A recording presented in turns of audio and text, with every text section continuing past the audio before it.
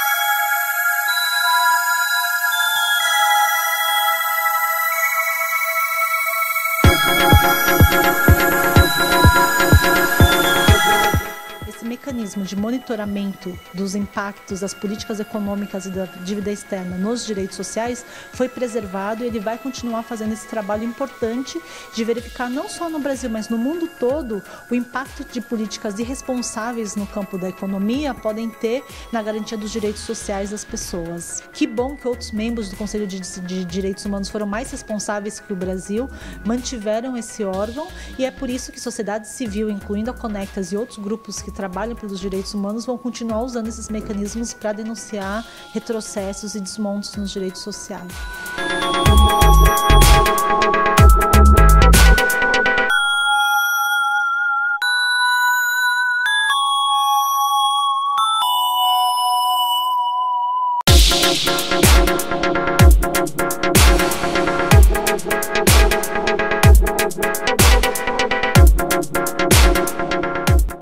Medidas é, para controle é, de orçamento, para reduzir despesas numa, numa proposta bem neoliberal de Estado mínimo,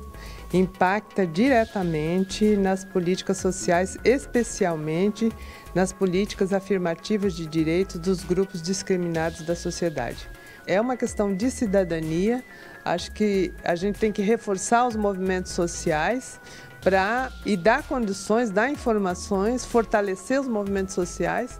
para irem para as ruas e defender com todas as forças as políticas que nós conquistamos, inclusive acionando o Ministério Público, acionando a Defensoria Pública, que tem a obrigação